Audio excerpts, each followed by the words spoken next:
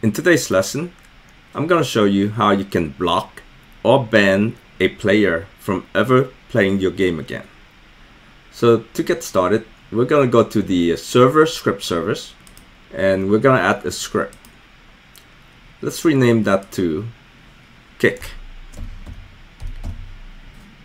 And to block a player, basically you want to check every player that joins the game. So let's say game dot players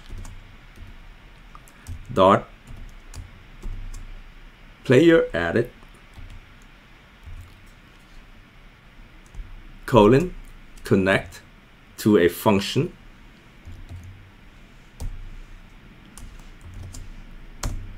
and we're passing in the uh, player parameter. So inside our function, we're going to check if player dot name is equal to and let, let me just bend myself for now so it's equal to Prize counter puncher then player colon kick. So we're using the kick method to kick the player out of the game. And inside the kick method you can pass in a parameter player dot name dot dot dot dot dot. You've been bad. Exclamation mark. So it th this whole thing here is just a message that's gonna be printed when the player is kicked. And if you don't have anything in here if if you leave it empty like this then th there would be like a default message. So let's play the test.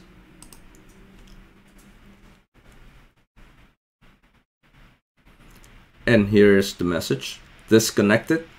You were kicked from this experience. Prize counter puncher you've been bad.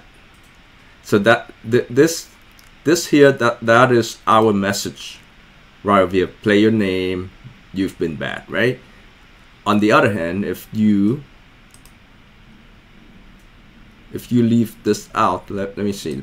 If I remove this message here now we can see a default message.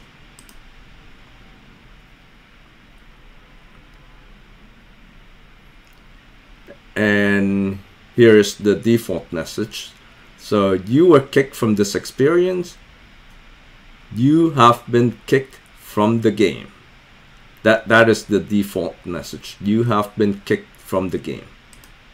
All right. Um, and say if I change the player name to a different player, then I shouldn't have any problem joining the game.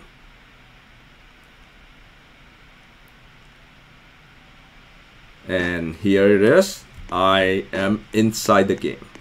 So with this you can block any abusive or bad nasty players from your game. Just by entering their name here checking for their username and then kick them out of the game